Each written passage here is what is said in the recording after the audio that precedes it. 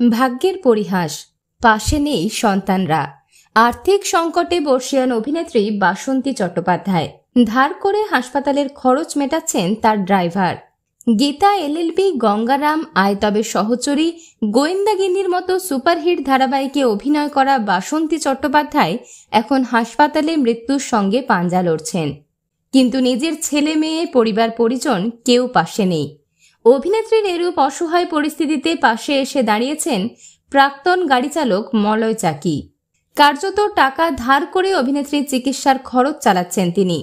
বর্তমানে আইসিইউতে রাখতে হয়েছে অভিনেত্রী বাসন্তী দেবীকে। ক্যান্সারের পাশাপাশি কিডনিও খারাপ হয়ে গিয়েছে অভিনেত্রীর। কিন্তু টাকা খরচ হওয়ার ভয়ে পাশ কাটিয়ে গেছেন অভিনেত্রীর এক ছেলে এবং এক মেয়ে। তাই এক প্রকার বাধ্য হয়েই ছিয়াশি বছর বয়সে অভিনেত্রীকে পেটের টানে ছুটতে হয় সিরিয়ালের সেটে।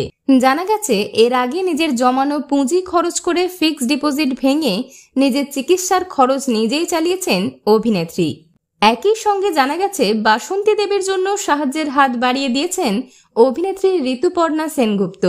এছাড়াও প্রযোজক, পরিচালক স্নেহাশিস চক্রবর্তী, অভিনেতা ভাস্বর চট্টোপাধ্যায়ের মতো কিছু সহকর্মীরাও পাশে দাঁড়িয়েছেন অভিনেত্রী বাসন্তী দেবীর।